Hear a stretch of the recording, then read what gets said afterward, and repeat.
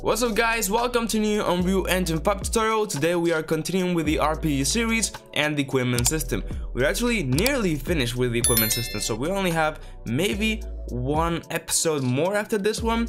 Uh, could change, but honestly, we're nearly there on creating the core. Of course, as the series go, we'll, you know, add more things and so on, but like the uh, we can move on to other things basically, right? So, um, basically in the last episode, we already have that we can go ahead and select items. We open up the menu. And we can go and have a list of them and then go ahead and select them into an appropriate slot. So what we have to do now is go and uh, pass that information into our character. So it will actually pass on the the mesh and equip it into according uh, uh, socket and so on basically actually like equip it, right? And then another thing that we have to do is split it in categories. So this will be like, for example, the melee, this will be the shields and so on. So the items that are specified, like for example, a sword will not appear in the shield section, right? In the shield zone. So that's what we have to do. Another thing that we'll do, uh, maybe that will already be in the next episode, but we'll need to make that it will save the according slot, of course. And then uh, you cannot attack when uh, you know you're in the menu. Anyway, let's go ahead and get started. It's gonna be a very easy to follow, so let's get started. Alright, so let's begin by going into the equipment system, UI, and open up the WB equipment menu. So what we're gonna begin is by transferring that information into our character. So when we go ahead and equip a slot, we'll pass in that um, mesh over there. So we can, for example, equip our sword right? So we're gonna go into the um, graph over here, and right now we have the uh, assign item slot where we receive the item that we want to basically assign, and we apply the icon and so on. So this is the part that we have to do. So in here we're already getting, for example, the mesh and the name and so on. So this is what we have to do. So let's go now into the content. I'm gonna go into the third person blueprints. Let's open our third person character blueprint and what we need to do is create a new uh, variable over here. And honestly we can even do an event. So let's go down here. All right. We're already having a pretty big event graph maybe we have to organize this a bit you know but you get the idea. Uh, let's go into the right over here. Let's create a new custom event. And this will be equip uh, item. Okay. So from the inventory we will call this. So we will also be receiving the items. So you know we'll go ahead and make a new input. It's gonna be item and it's gonna be a slots and I'm gonna right click and promote this to a variable which is gonna be the equipped item. Gonna make the e in lowercase there. Okay so it will be basically when we equip a new item we will assign it into a variable. And then what we need to do is of course go ahead and pass on the the mesh and so on so what we can do uh, actually instead of directly getting the item uh, we can pass on directly only the um, the icon and the static mesh and the name. But actually later on if we actually want to get the damage and so on we'll have to pass all the parameters. So what we can do is as always just go and uh, get the um, uh, base basically break break this right click split it and then get row sorry get row like this the table row put over here passing the name then get this and then break the uh, S weapons. And I will have again all this but we only pass on an item. So we can do more things basically later on as we go. So what we have to do now is get the sword. Right now of course this is called sword but we are going to go ahead and change the name into equipped weapon. Weapon. There we go go ahead and change these. Because of course this now universal. It might not be a sword it might be a bladder things like that. But it still will be a weapon. In this slot you will not put a shield. That will be in a separate slot. That's a, a, with time we will add and so on. But let's go back into the event graph. Let's get the equipped weapon and drag it. And now what to do is set static mesh. Let's go into the ROM font and put it over here. So now we are gonna get the static mesh and pass it over here so now instantly, if we call this and pass the item from here when we equip it, we'll be able to equip that item. So let's go back into the equipment menu and on here, right at the end, what we're going to do is cast to the third person character. if I know how to type. There we go, third person character. Wanna go ahead and get the player character and then we want to go ahead and call that specific event which was uh, equip equip item. There we go.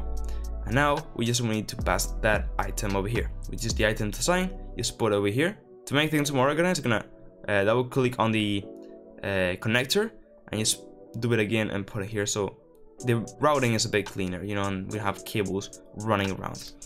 Anyways that should work. Now let's see what items right now over here we have. So here we have the heavy sword and the wooden bow, and then here we have the normal light sword. Uh, and this is the mesh. So right now, for example, if we equip the heavy sword, all we having is spear in a hand, which is temporary of course, but you get the idea. Let's go ahead and just get this item for example. Let's open, let's go and equip the heavy sword and boom!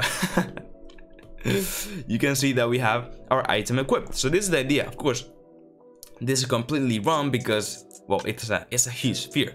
But if we were to get, for example, this other sword, and now equip it, which will be the light sword, it will be right again good.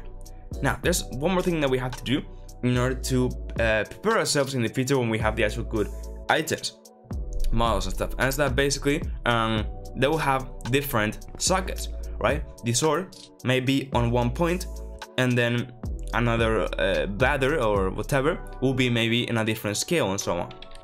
So we have to basically have different sockets. Okay, so what we have to do is go into the equipment system and go into the S weapons. So this is our database. And we're actually gonna go ahead and create two more things, okay? The first thing we're gonna go ahead and add a new variable and we're gonna drag this and say this is gonna be the uh, socket. The weapon socket. And for now, this is gonna be a string. So we'll pass the name of the socket. We'll have to make sure that it's the same exact name as in the skeleton, but yeah, just be careful with that when you add it later on. And as I mentioned before, we already have like the type or category with an enumerator so we can select which one it is, so great. And basically on weapon socket, in the string, we're gonna add a default text, uh, which right now is gonna be the same one as in the sword, just to have like a something ready to touch on as like a default one, which is hunt art sword. I'm gonna go ahead and copy and paste it. So like I said, it has to be exactly the same string, the same cases, everything. So make sure that when you create the new socket and put the name here, it's exactly the same. If not, everything will break. Okay, we have to have that in mind. Um, so go ahead and save everything. And great. Alright, so now that we can equip weapons, it is time to make the category, right? So we can only equip certain weapons in some categories. So let's go ahead and open up the WB equipment. So in the graph, right, when we go and um, construct this, we are basically going ahead and going through all our slots, going into here, and then basically adding them into our vertical list, right? When we open up this, right now, the items are being created. The items that we have, of course, right now didn't equip one, but you get the idea. So the thing is that we only have to do this when you open up the panel and then to um, the specific category slots. All right. So what we're going to do is create here a new custom event. It's going to be open uh, items list. And basically open items list will pretty much do what it's doing right now here. Okay. Uh, this is what we're going to do. Let's go ahead and do this. Put it over here. Great. So we will not do it when we open the inventory, only when we open up this slot. So let's go quickly into the, uh, which is gonna be the equipable slot. So this is the slot, right? When we go into graph, when we click it, we are basically enabling this, right? We're gonna be visible. Uh, so what we had to do is basically go and call this. So we're gonna go ahead and get the equipment widget. Now call this the custom that we have just created which is, what was it? Items list, open items list, right?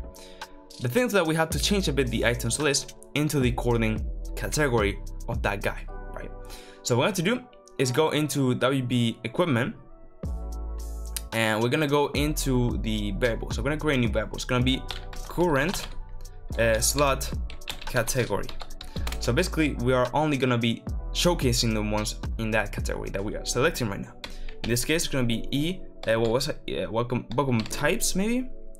Um, weapon category types. I don't know why I have categories. uh, here we go, category. I'm gonna go ahead and delete that. I think it was one of my tests. Okay, so don't go ahead and uh, just forget that. Okay, we are using types. Um, so there we go, e types. And then what we need to do is that when we call this, we need to assign it. So here, we're gonna go ahead and get the equipment widget, get um, category, and then we need to assign it. It's gonna be a bit later, right? So here what we're going to do is just drag this and then it's gonna be equal and then we can put a number. Now I believe that there's also an equal enumerator. Yeah, and we can just put in the, the text instead of that. And basically in here, we have to pass uh, the one of the armor, right? In this case, each slot will have a category.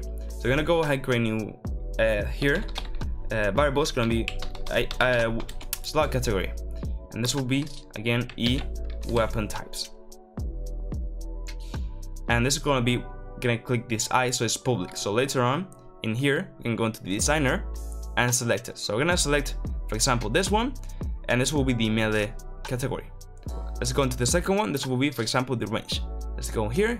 Uh, this will be the armor for example let's go into the bottom right one this will be shield so now each one has its own category right and will only display once in, a, in the items in that category so now in here, what we are doing is basically uh, we need to assign it. So actually we have to get this and then set current slot category, not get it. We need to set it, sorry about that.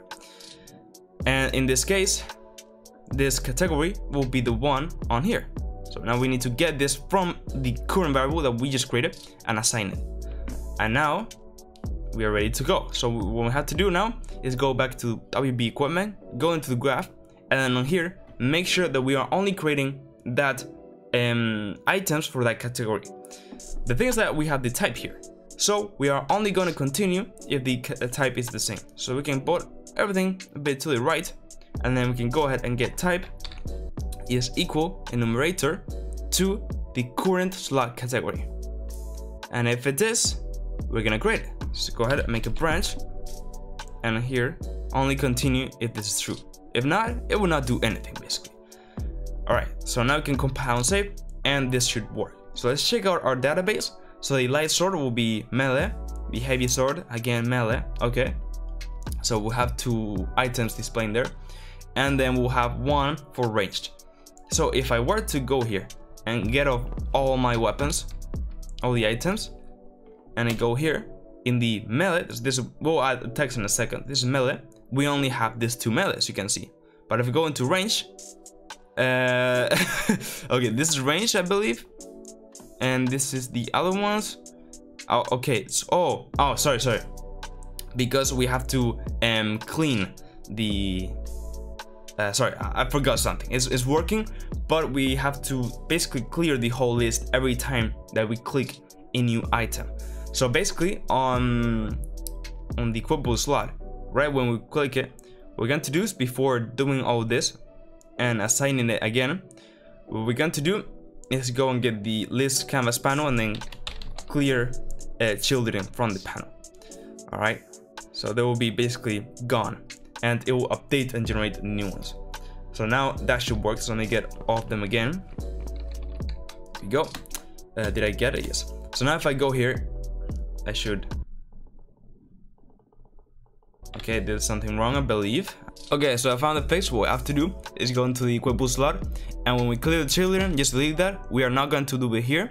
So compile, go back to the W equipment and write in the custom event of open uh, items list.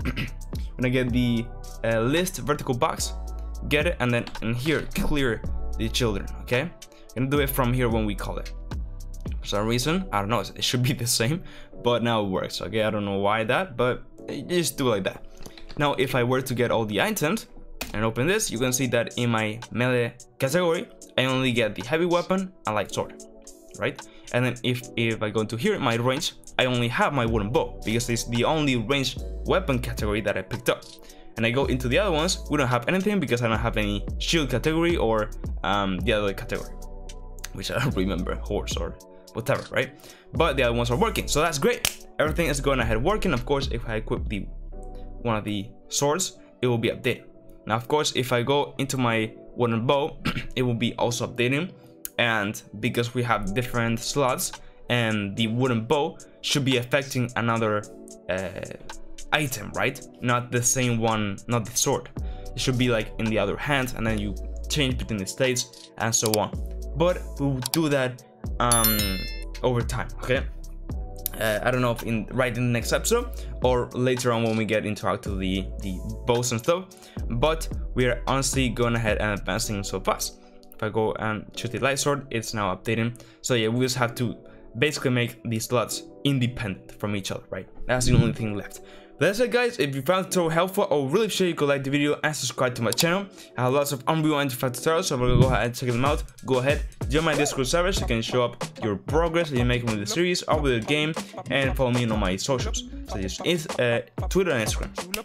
Uh, in the next episode, uh, I think we'll finalize with the um, UI. Okay, we'll add the melee here, then range text over here, and then so on. Okay, we'll finish up a, a bit more things, and that's pretty much it. So with all said, bye bye.